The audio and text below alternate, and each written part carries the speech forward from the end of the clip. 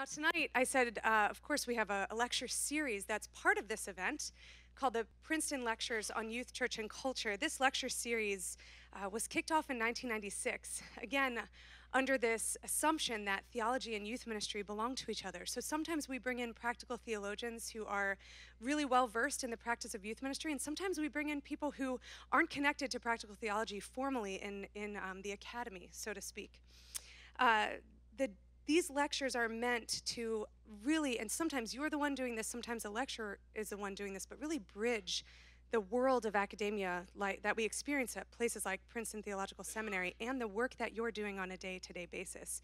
So we want you to engage with our lecturer. We want you to ask questions. Um, and we are so excited for our lineup this week. We have Dr. Matthew Milliner, the Reverend Dr. Christy Lang Hearlson, and Dr. Brian Bantum. In tonight's lecture, Cleansing the Temple, will be delivered by Dr. Matthew J. Milliner. Now, you may have seen Dr. Milliner's bio on our website, but I want to read the bio that he provides for uh, folks on his website, which is millinerd.com. He may or may not be in my phone as Millinerd. Um, so, Matthew J. Milliner, aka Millinerd, has been teaching art history at Wheaton College since 2011. In a previous life, he earned a PhD and an MA in the Department of Art and Archaeology at Princeton University, where he specialized in Byzantine and medieval art. In the life before that, he graduated from Princeton Theological Seminary with an MDiv degree. In the life before that, he was the director of youth ministries at Media Presbyterian Church in suburban Philadelphia. In the life before that, he went to Wheaton College, where he was, you can see a thread here, right? Um, where he was an art history major and married the other art history major. in the life before that, he grew up in New Jersey, Brazil, and Indiana. And in the life before that, he did nothing, because the Origenist doctrine of the preexistence of the soul was condemned in 553 AD.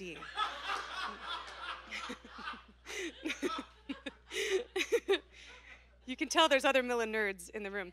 Um, but one of the things that drew me to make this ask of Dr. Milliner was something else I read on his website. He said that when he did youth ministry at Media Presbyterian Church, it changed everything. So I wove that into his uh, ask letter. Um, and I think that rings true for many of us, right? Uh, so many of us are accidental youth ministers, um, but this calling, this way of being in the world, has changed everything for us. So please join me in warmly welcoming Dr. Matthew J. Milliner. He is risen. Yes. Greetings in the name of the risen Lord Christ. Anybody here for the first time ever in Princeton? Wonderful. Okay. So when I first arrived on this campus with my wife to get the tour of the housing, this guy, Jonathan Walton, who is now a professor of religion at Harvard and the minister at Harvard's Memorial Church, gave my wife and I a tour. He was a PhD student at the time and perhaps sensing my concern about Princeton Theological Seminary. He told us that one of his seminary professors told him that if you stop believing in Jesus Christ's actual resurrection, you need to leave seminary. And that meant so much to me because I was wondering whether or not this was a good place to come. And Jonathan's words were a deep assurance. And now all of you first timers had the same experience because of the joyful preaching of the risen Christ by Reverend Lagonde that we just heard. We've come here in the same way, assured that the risen Christ walks on this campus. He actually has appeared to me bodily on this campus. And I don't mean he literally appeared in his risen body, because as we heard, blessed are those who have not seen but have believed. But he has appeared to me through his body, the church, through the All Saints Episcopal Bible study that met Tuesdays, 7 a.m., and still does, through reading a sentence in Hebrew at a Dunkin' Donuts for the first time through Professor Clifton Black, who was about to run off to a meeting. Yes, he's amazing. From this very room. And when I approached him with a question at this very lectern, he put his briefcase down, took a deep breath, and responded to me with grace. I said, Don't you have to be somewhere? He's like, I have to be right here. Tell me your question.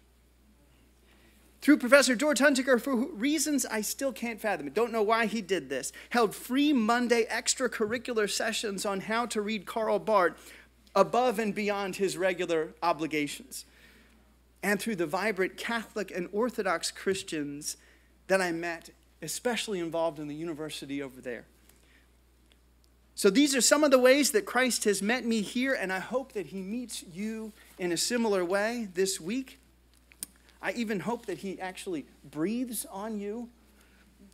It's kind of a strange passage from John 20, 22. The risen Christ breathes on the disciples. I don't think I would want to be breathed on by anyone. Strange idea, but we need to be breathed on him if we want to do ministry. Breathed on him in the sense of emergency CPR breathed on him in a way that resuscitates us from our breathless efforts to do good stuff for God. so I hope Christ somehow breathes on you this week, and that each session and lecture, including this one, can be part of that. And here is what you are in for tonight. It is a four part lecture, a brief introduction describing my experience both receiving and dispensing youth ministry where I'll introduce you to a 15th century icon that encapsulates what youth ministry at its best can be. And then I'll show you how art history happily shatters our unhelpful categories of Christian division. I'll describe our present challenge, which I'm going to call, borrowing a term from a scholar in my field, our optocracy, the visual regime that we live in today. And I'll conclude with a threefold strategy to help us occupy the optocracy, we could say. That is, as Christians, to resist it. Part one. Before we begin, please join me in prayer. Father, we do know you walk on this campus. We do know your Holy Spirit is here. And as we heard today, we know that you can encounter us individually with what we need to hear. We pray that would happen this whole week and even in this room right now. In the name of the risen Christ, we pray. Amen. I came to the gospel as a teenager because of the message of grace. And it wasn't just a message, it was a community that embodied that message that was different than any other community in Haddonfield, New Jersey. In the blood sport of high school popularity contests, I had drawn a little bit of blood, and more blood had been drawn from me. But in this youth group that I was drawn into, I heard the blood of Christ preached instead. There was, I learned, a God who died to end those kind of rivalries. And he generated a community of service in this town that was unlike anything I had ever seen. And the formula for that youth group was really simple a welcoming circle, a guitar for worship, and the preaching of the cross. and as nice as my handcrafted PowerPoint graphic is, you can see why I did art history, not studio, right? Maybe a more beautiful art historical image that conveys the same idea is in this print by Lucas Cranach the Elder, one of Martin Luther's best friends a circle of praise centered on the cross. And when I wandered into the breakfast club where God was sung to and the cross was preached, I recognized a community that offered something that my high school did not. This community offered grace, undeserved favor. And of all the subcultures that I knew about athletic, academic, artistic, or even countercultural they may have looked different on the outside, but they were each driven by a remarkably similar, culture of accomplishment and reward, but not the Haddonfield United Methodist Youth Group. They offered this irresistible grace that drew me in. But when I became a youth director at Media Presbyterian Church in Pennsylvania, I think I may have forgotten that simple message of grace. Maybe I thought I guess I had advanced beyond it. I think that message may have gotten lost in the pursuit of numerical success and elaborate trips, all of which have their place. But without grace, our youth group was dangerously close to being one more club competing for student attention. And what's more, the parts of me that hadn't fully received the message of grace were resurfacing through the pressures of ministry. You see, when I was an assistant youth director, I had arrogantly thought myself both cooler and wiser than the youth director that I served under. I think I really thought I could do a better job than he was doing. And eventually I got the position of director, and then I had conflict with someone who served under me, which is to say, I got a taste of my own medicine. I saw how difficult the job was that I thought I would do so well. And I think because I understood myself as a dispenser of grace rather than as a receiver of it, I grew breathless. Ministry became humiliating and exhausting. And so, faced with these considerable challenges, I did the most noble, selfless, and courageous thing I could think of. I became an academic. And because God has mercy on exhausted youth ministers like me, I found grace in the academic calling as well, which is what I will share with you tonight. And the message of grace, as it's appeared in my discipline of art history, comes down to this particular image an icon from the Benaki Museum in Athens, Greece. And this icon conveniently communicates nearly everything I've learned about art history in a remarkably compressed way. And I think it confronts the confusion of our visual age. It's a big claim, perhaps, but I hope to convince you of it, all of you, if I can. But the problem is, it's not exactly a biblical scene. It tells an apocryphal story from Christ's life. And that word apocryphal means obscure or hidden, and it might put your Protestant guard up. I hope it does. But you see, not all apocrypha is bad. You know, there is what I would call bad apocrypha, like the Gnostic Gospel of Mary or Philip, which claims Jesus' resurrection was just a vision. Or the Gnostic Gospel of Thomas's suggestion that women have to become men to enter the kingdom of God. I hope you don't believe either of those things, and I'm glad they didn't make it into the New Testament. But there's good apocrypha too, stories that don't claim to be scripture, but nevertheless, they claim to illuminate Scripture like a good commentary does, or maybe the way a Christian movie might reverently fill in the details that the Bible leaves out. That's what we're dealing with here. You might call this account the cleansing of the temple and when I say that, you're probably thinking of the account that appears in all four Gospels of Jesus cleansing the Jewish temple. But this story suggests that Jesus got an early start in this temple cleansing business. And it happened during the flight to Egypt that is only recorded in Matthew's Gospel. The story goes that as Jesus, Mary, and Joseph enter pagan Egypt, the idols of the pagan temples panic and they fall. And this story takes off because it preaches.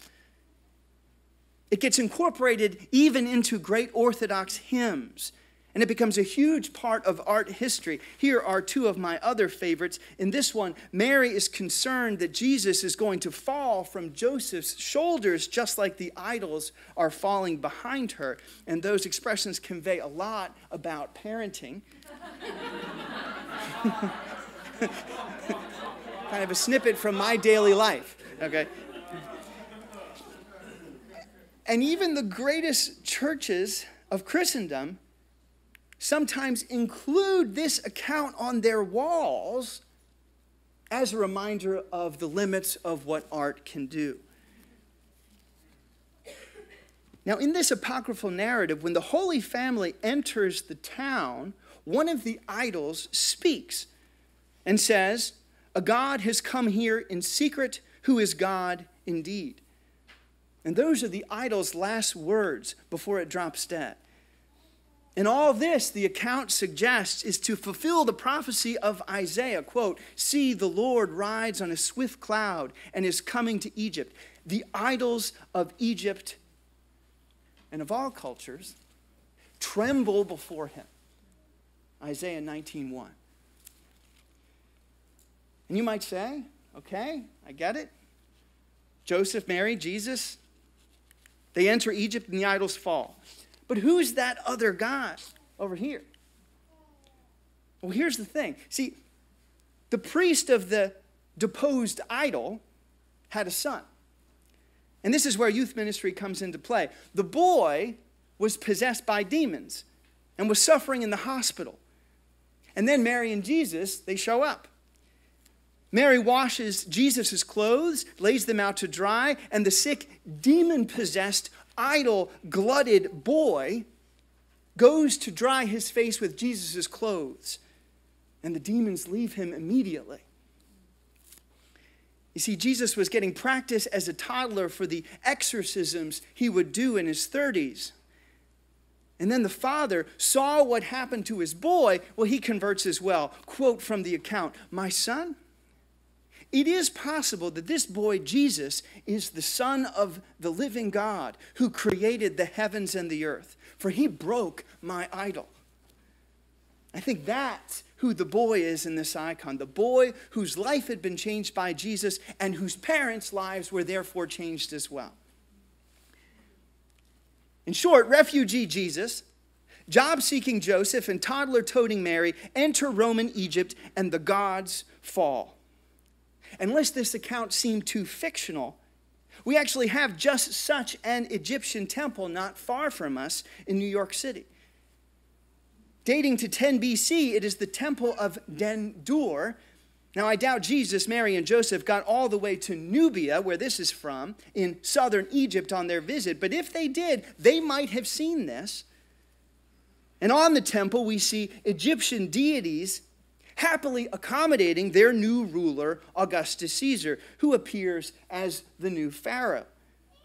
Now, contrast that with the story of the cleansing of the temple. Caesar makes nice with the pagan deities Isis and Horus, but Jesus brooks no rivals.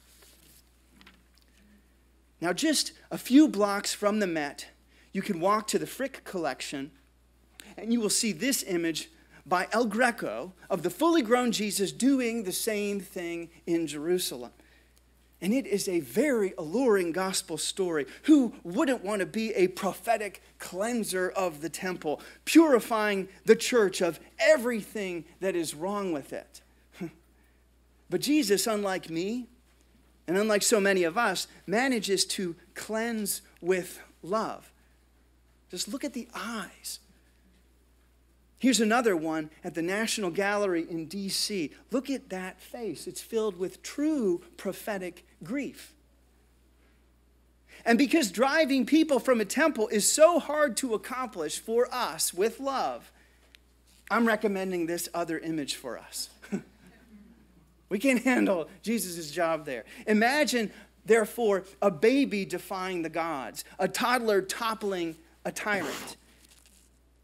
Mary inadvertently brings down the visual age of ancient Egypt and Rome through the simple act of doing her baby's laundry. The demons cannot bear this simple act of service. And maybe the temple of our culture can be purified in the same way through fidelity to Christ as expressed in small acts of service. What if the dramatic change to the student around you isn't from some mega youth blockbuster event, but from your showing what it means to be faithful in the small things? That is what it was for me. My youth director, Chris Perkins, taught me guitar chords. He took me along when he went to buy a used car. And that combined with the preaching of the cross in that simple youth group is what brought the idols of my family down. And my parents saw something was different in me, and they were drawn to Christ as well. Now, I hope you find this apocryphal event meaningful as a commentary on the scriptural accounts of the flight to Egypt. But this image has a lot more for us. We're just getting started with it, in fact. And as I said, I think it contains a wealth of knowledge about art history, which takes us to my discipline. Some people call it art history. I think you could just as easily call it visual theology. And the first thing to say is that Verbal theology is wonderful. I've heard a lot of it in this very room. It has great and considerable gifts. And verbal theology, kindly lending its services to visual theology, often tells us well, you see, there are three ways that images have functioned in the history of Christian theology. There is the Catholic and Orthodox way, where you pray not to the image, but through the image, to the prototype, to Jesus in heaven. Then there's what could be called the Reformed or the Calvinist way, which sees the dest- got to get the X in there. I had to throw in the X, right? Which sees the destruction of images as necessary. And finally, there's what could be called the Lutheran or didactic way, where images are not prayed through, but they are deemed useful for teaching to clearly communicate the gospel of grace. And that's why Luther robustly refuted Andreas Karlstadt, who said images should be destroyed, and partnered with Lucas Cranach to visually convey the message of grace in the 16th century. Now, there is truth to these categorizations, I will admit. But it's also a way that verbal theology has quarantined the complexity of visual theology as shown through the history of art. And the exciting thing is, is that the closer you look at art history and not theories about images, these neat and tidy categories, they do not survive, not for a minute. And I don't think these categories are entirely helpful in your ministry either, for reasons that I'm going to try to explain. Let me give you some exciting examples as to how good art history demolishes these categories. Okay, so Mia Mochizuki in the Netherlandish image after iconoclasm, right? We thought there weren't any. and Angela Vanhaelen in In the Wake of Iconoclasm have shown that the Reformed Calvinist churches were frequently saturated with images. This might look initially like a whitewashed Calvinist church, but look closer. Inside, there is an image of Jesus that Calvin would not have approved of there. And there is also a covert Virgin Mary below in the disguise of a regular Dutch woman nursing her child. in decorating the godly household, religious art in post Reformation Britain, Tara Hamling has completely upended our view of what the visual culture of English Puritans was like.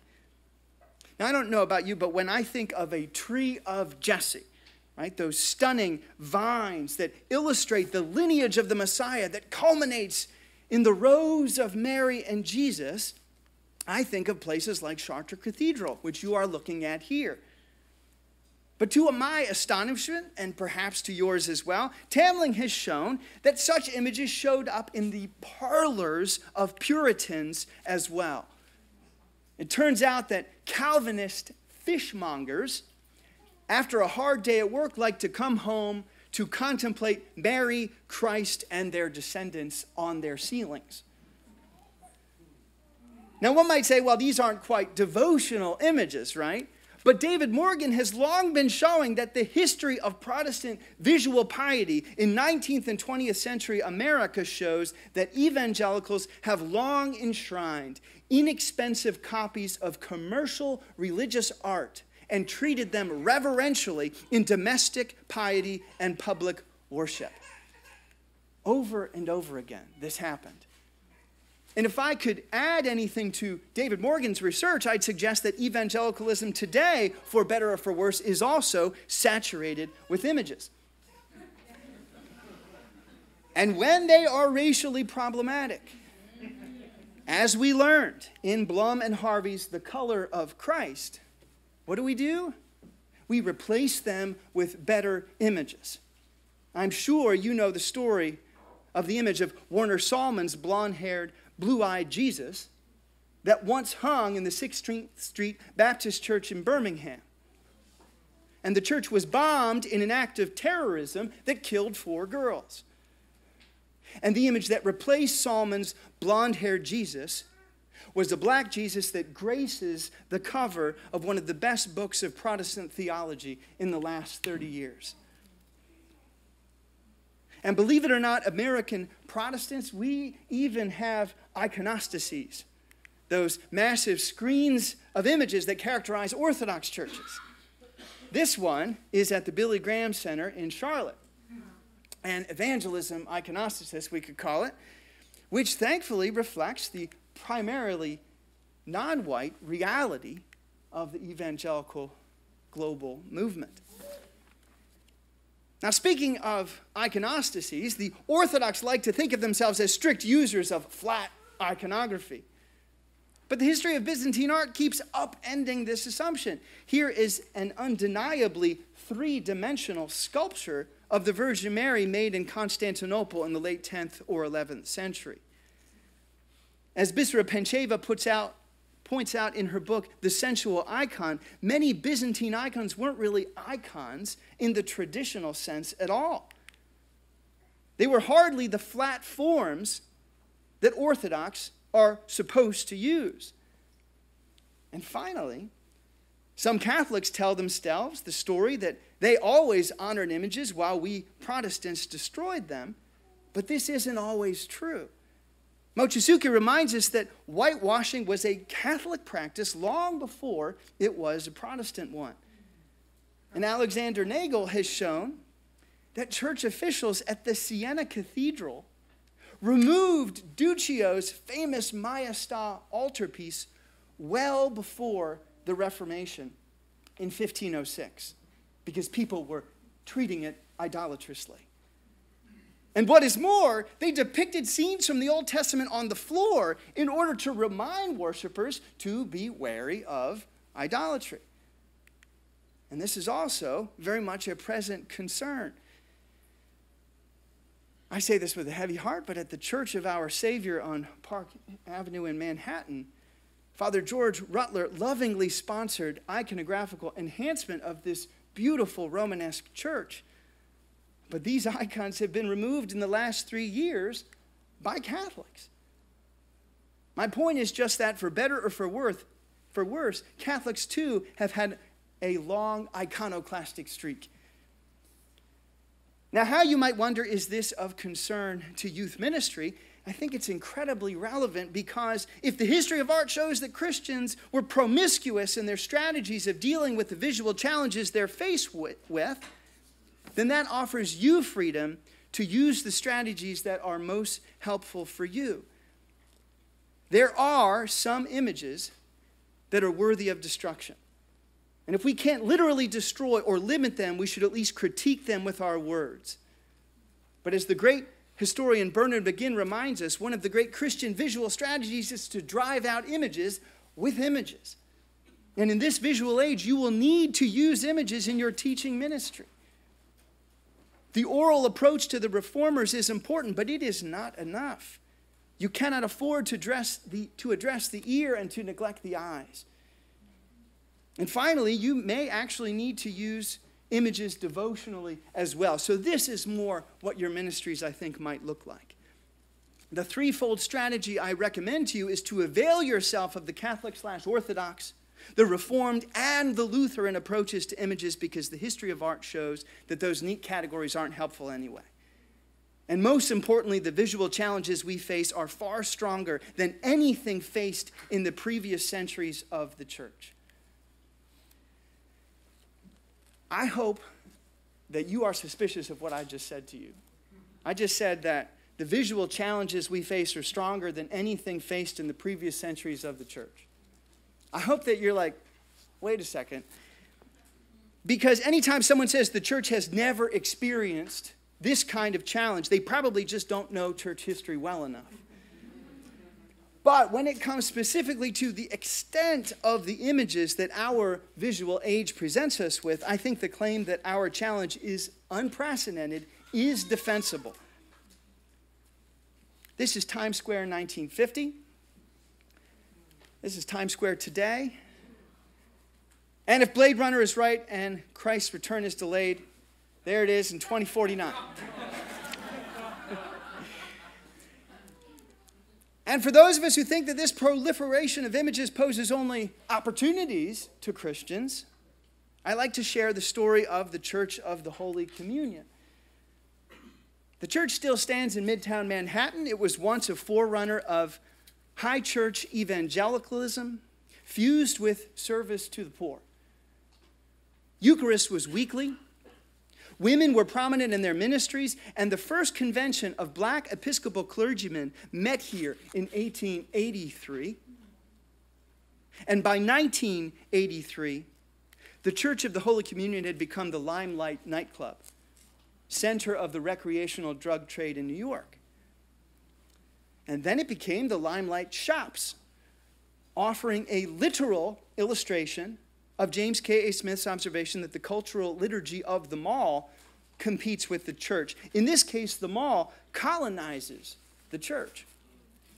On my visit a few years ago, dressing booths seemed to evoke confessionals where you could unburden yourself of stylistic sin.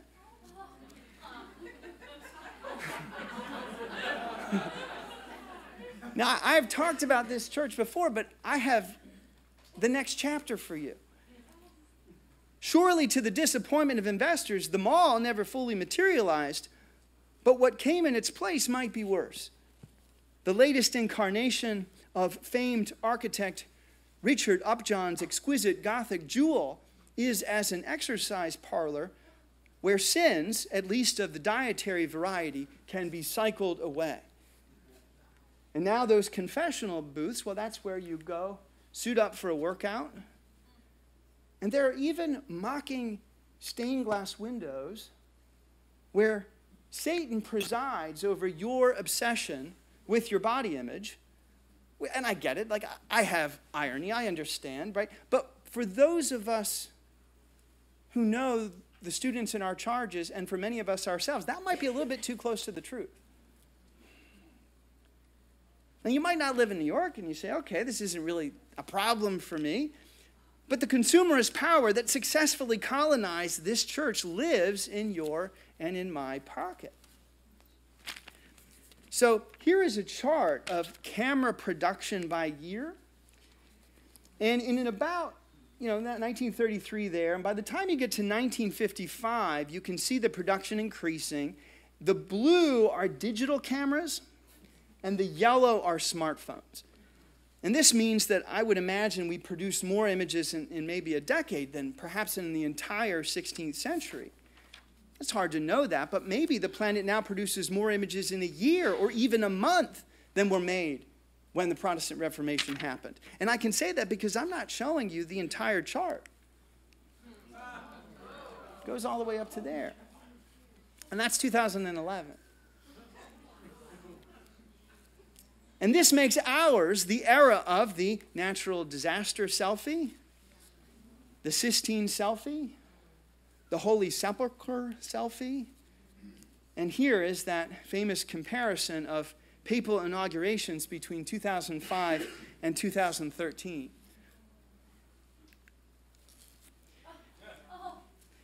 Now, it's not just images, which can be innocent enough, and I'm well aware that I'm using images in this presentation. What makes them dangerous, though, is when they are harnessed to a program of self justification as we attempt to become the fitter, happier, more productive, more productive people that Radiohead prophesied we would become in their 1999 album, OK Computer. And as Edward Tenner puts it,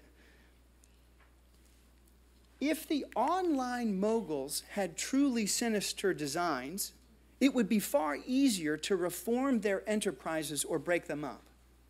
Part of the problem is that they don't know how to control the new world they have created. Nobody's in control of this. So that means that Silicon Valley defectors like Tristan Harris have declared that after years of trying to reform this culture from within, working at Google, he said, You just can't do it. He said, I was there when they brought in the famous Zen monk, and it did nothing. Harris is doing what he can now from without, and I hope he succeeds.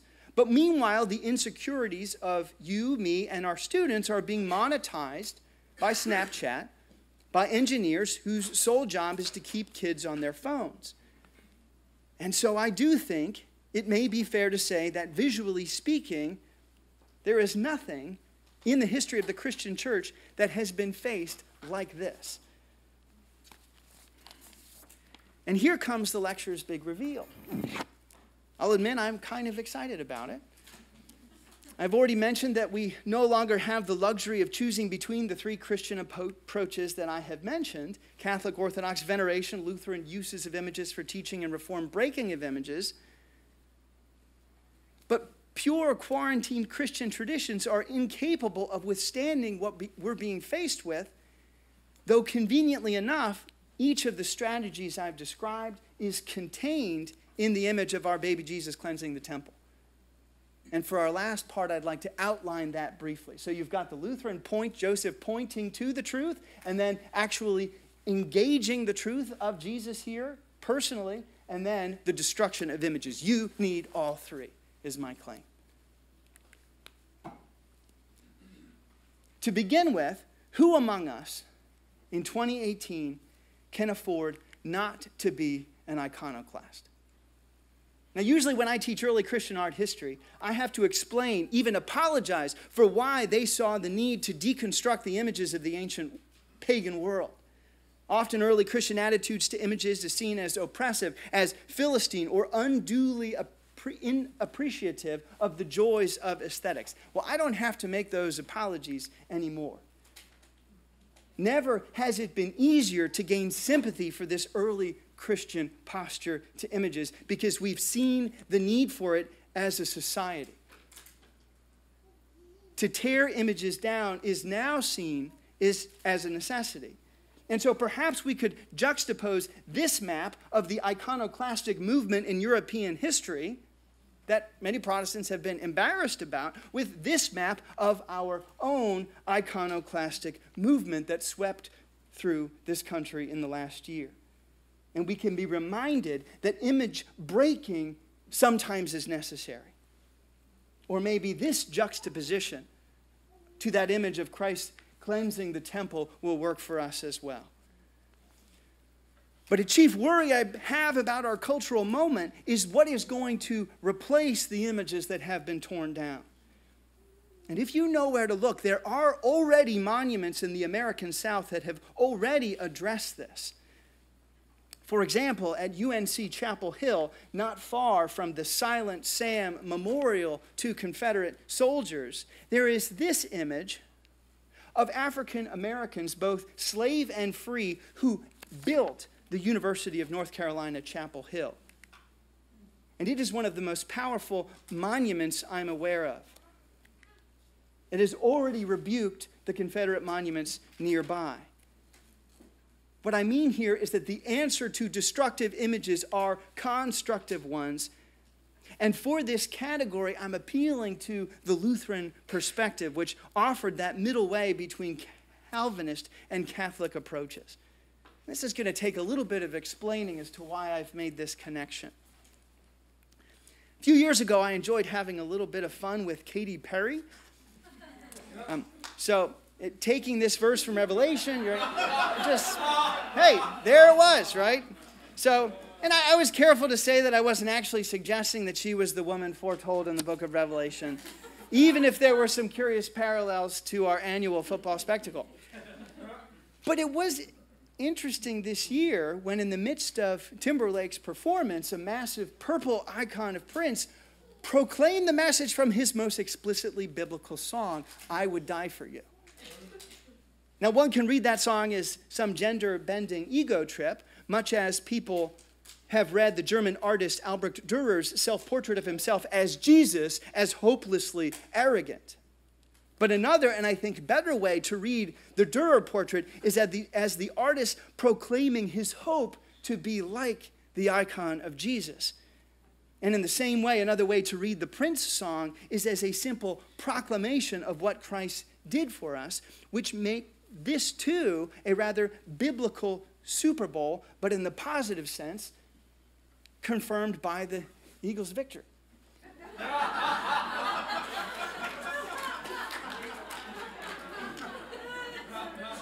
So, what I'm saying is that we need to be on the lookout for moments we can harness in our culture. I think I did too much of that when I was a youth director, but those moments are still there, as well as moments that we have to oppose. Dürer was famously lifted from a serious bout of depression through the message of grace he encountered by reading Martin Luther. And it might seem strange to categorize this teaching of imagery again under the banner of Luther, but in doing so, I'm focusing on images that teach grace. From the great Minneapolis Luther exhibition catalog, here is a chart of the system of indulgences that had taken over what remained of the Holy Roman Empire in Luther's day. Now, Cardinal Albert of Brandenburg is up here, and he had to borrow money from the Fugger banking family. They're over here, the Fuggers. And he did that in order to purchase the position of archbishop. Oh, we don't have grace yet. Okay. All right. It's coming. It's coming. There's the grace is coming. Okay. To purchase it from the pope who was selling it to him, and then in order to pay back that massive loan to the Fuggers, he had to collect indulgences from the populace essentially selling salvation. And when Luther opposed this system because of his rediscovery, not discovery, but rediscovery of the theology of grace, it threatened this system. A system which countless Catholics then and now freely confess was in dire need of reform. Grace rendered these indulgences unnecessary. Grace disrupted the order, and tragically, due to fault on both sides, the unity of Christ's body, which had yet to heal from the east west split of 1054, was shattered once again. Luther's visual solution, however, was ingenious. He wanted a church that was, yes, purged of images, but in its center would be a didactic image of law and gospel, his interpretive key that unlocked the entire Bible. And so a cleansing was necessary, but a clear visual exposition of the Bible as well. And on the left side of these images, we see what God commands and which we cannot give. And on the right side, God graciously gives what he commands. If you feel the Augustinian rhythms to that, you're exactly right. And as Luther put it in the Heidelberg Disputation written 500 years ago, this month, the law says, do this, and it's never done. And grace says, believe this, and it's already done. this is what I heard in that youth group. This is what captured my heart. The message of grace liberates. And thanks be to God, you are as likely to find this message of grace among Catholics like Henri Nouwen or Jacques Philippe as you will among Protestants. Now, some have suggested, however, that this image of grace is not as relevant for people today who tend not to worry as much about the fate of their eternal souls. If people of the 16th century were driven by questions of salvation, some have said we as a population seem to be driven by something else. As Alain Ehrenberg puts it, quote, and this is a great quote. The question that hovers over your character today is no longer that of how good you are, but how capable you are. And with this shift comes a new pathology. The affliction of guilt has given way to weariness. Weariness with the vague and unending project of having to become one's fullest self. And we call this depression. And this wearying project of self creation is what our digital moguls are harnessing. And the good news is that grace cuts through the project in exactly the same way as it did in the 16th century. Our indulgences may look different. Perhaps you recognize Lacey's personal rating from a chilling episode about our rating one another in Black Mirror. But the solution to those indulgences is the same God's justifying, shame shattering favor, where our record becomes His and His record becomes ours.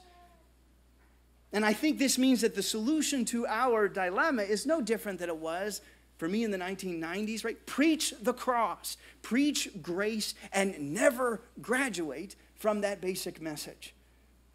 As one Lutheran theologian puts it so well, quote, our progress in the Christian life is progress into the cross and resurrection of Christ. We enter more deeply into the beginning of our Christian life rather than becoming ever more distant from it, end quote.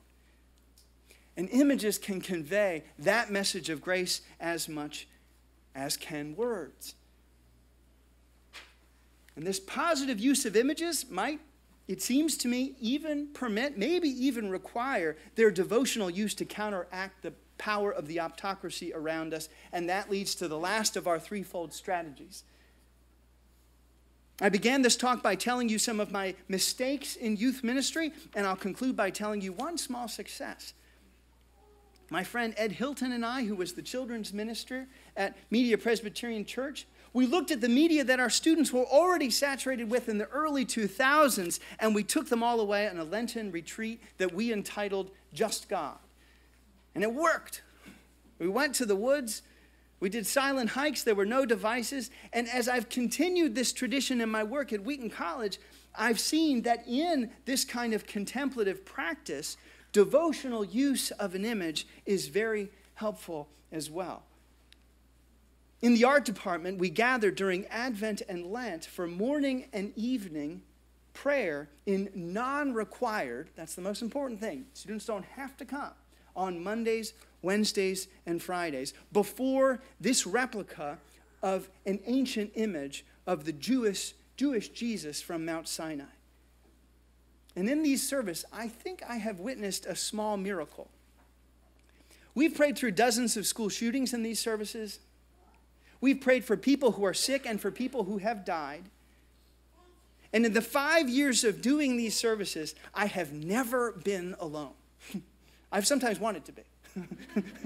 there has always been somebody else. And this Ash Wednesday, I was so tired, I'm like, I'm not going to do them anymore. And on Ash Wednesday, I get a handwritten note from a Fulbright scholar in Germany who said this to me, and I opened it up, and it said, Dear Dr. Milliner, I'd like to thank you as you begin those Lenten services again because they were so formative to me. And I just took that note in hand, and I said, I've got to keep going. And lo and behold, one of my friends was afflicted with something serious, and he was there to pray with me because of those services. That's the simple miracle. I'm never alone when I do it. Students actually show up. And I think they show up because it's not about me, it's about them encountering Christ, which is accentuated through the use of this icon. They're not looking here, they're looking there. But even so, I don't think that one image, one icon, even, even if, if it's an icon as good as this one, is adequate. Because what about the moving image? What about the countless reels of Netflix shows that we all have access to? What is the Christian response to that? I actually think I have one. I think the solution is more devotional films about Jesus hundreds and hundreds of devotional films about Jesus, and you and your students, I'm happy to tell you, are capable of creating them. I don't know what scenario you're imagining right now, like a quick kind of attempt to, to do it, but what I mean is something different than sending your students to film school. The kind of films I'm talking about are far better and far more personally significant than anything even the most brilliant indie Christian director could come up with. What I'm suggesting is that you might simply consider introducing both yourselves and your students to the spiritual exercises. When Ignatius of Loyola, a Spanish soldier, laid down his sword and went to a cave in Manresa, he used the imaginative capacity that God gave him to put himself into the gospel stories personalized account of the New Testament with you in every scene. And in so doing, he was following in the great tradition of Christian painting that did precisely that for lay people. That guy was not at the Annunciation. He's a 15th century Dutchman, but he's in it now. And when Ignatius did this, he did it without brushes. He opened up an incredibly powerful, what we might say, proto cinematic tool for training young people in how to harness the mind's ability to make images in the service of Christ. Ignatius didn't discover this technique any more than Luther discovered grace, but like Luther, Ignatius deployed effectively what he found. And the reason I can speak about this technique is because I had the incredible luxury of being guided through the exercises over a year by the gifted spiritual directors at the Church of the Resurrection in Wheaton. And the good news is they put all of their stuff online. imaginatively immersing yourself in the gospel scenes and letting Jesus speak to your students individually is one of the most powerful tools in the Christian spiritual tradition that I am aware of. It really is better than Hulu, Netflix, Amazon Prime, YouTube, or however your students access their content combined. And ultimately, that tradition, which has been used by Protestants for over 100 years, might be the only thing powerful enough to resist what might be coming down the pike. So let me summarize this four part talk that you have generously listened to with four sentences to conclude. The challenge of this new optocracy we are faced with is unprecedented. And as a result, the temple of our minds and hearts need cleansing like never before. Your Christian tradition alone, whatever it is, is outmatched by this visual age. But the entire Christian tradition, Reformed, Lutheran, Orthodox, and Catholic, and others that I have not had time to mention today, together might actually stand a chance. I look forward to your questions. Thank you so much.